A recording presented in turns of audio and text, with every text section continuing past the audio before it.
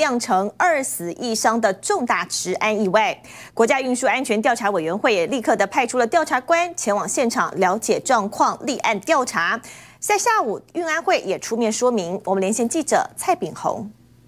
好的，主播透过画面可以看到多名远警来回在铁道上走动，现场也拉起封锁线封闭铁道，因为在这里发生了严重的治安意外。事发在二十三号早上八点三十五分，台铁台东海端站进行倒插抽换工程，工程结束后留下了三名池上公务倒班工人进行维护保养，没想到却不慎遭到电力维修车冲撞，导致三人重伤，紧急送往医院救治，但六十二年次的潘姓工人以及五十五年次的刘姓工人伤重，宣告不治。另一名王姓工人。则是在抢救后顺利恢复意识。而针对这起意外，运安会也召开了记者会，出面说明。马上来听稍早的访问。啊，道工班啊，他们在做啊这个线上维修，也都有正式申请，啊，有经过正常的程序批核。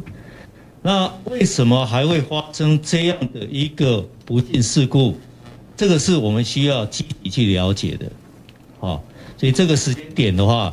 看出是有问题，问题的环节，啊，有待我们跟台铁局还有台铁道局，我们三方会很严格的来看，哦，把这些状况把它理清楚。刚刚有提到说他在申请的时候是有申请保修，那保修是一个申请的选项，另外一个申请如果有影响到刚刚所提到的这个正线上面的运转，他其实是要申请封锁。